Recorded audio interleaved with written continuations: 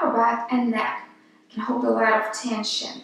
This is the area that can cause, that can hold a lot of tension from our daily stress for keeping the shoulders up, our daily activities, being behind the computer, keeping the shoulders up, driving, tensing up in a stressful situation, just emotional stress, bad breathing habits, things like that. And all of these things will usually set up trigger points in our upper back area.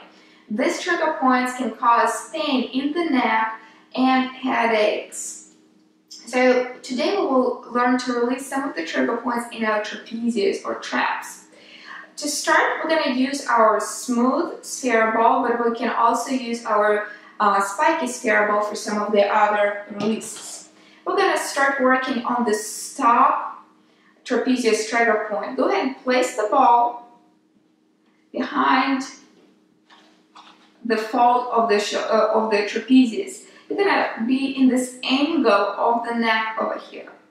So find the position. You're not gonna be apply a whole lot of pressure, just like so. Just feel the muscle. Now take the thumb, and this thumb will actually be applying pressure over here. You can hold on to the shoulder blade and press into the ball.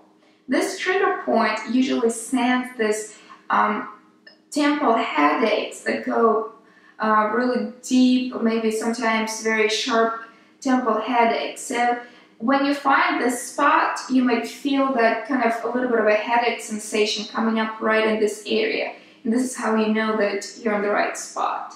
You can feel like um, a thread, like a rubber cord underneath your finger, underneath your thumb, if this uh, area is particularly tight. So go ahead and press into it and you're going to apply massage and stroking motions with your thumb.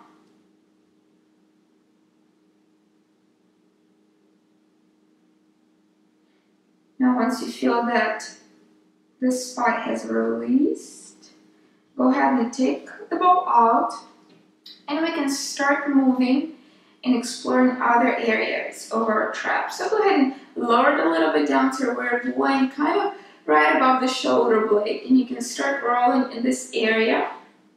It can be a little tricky to apply a lot of pressure here, so do your best, explore your body positioning.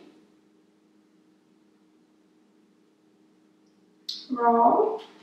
And those spots are better accessed on the floor, but if you're in the office or don't have a lot of floor space at the time, you just want a quick release, you can still massage yourself traps against the wall. Now we're going to go between the shoulder, the blade, and the back. And really a lot of spots where you will be massaging not just your traps, but also rhomboids in this position. Start going up and down, rolling along, parallel with the spine, but not pressing into the spine directly. Again, you can pause in any spot. They need special attention.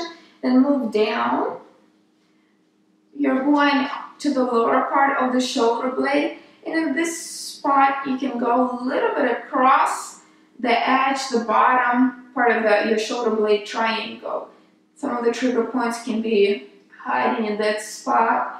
You can feel a knot again in the kind of bulge, muscle bulge over there. So go ahead and roll over it or just press into it and hold and just kind of keep exploring the area.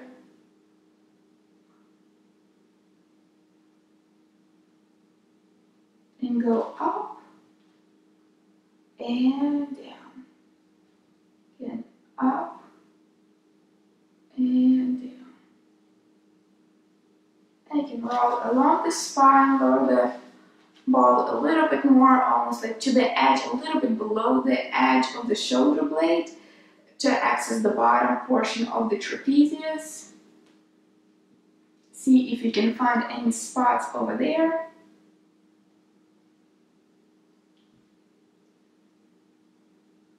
and release and you can now repeat the same release on the other side.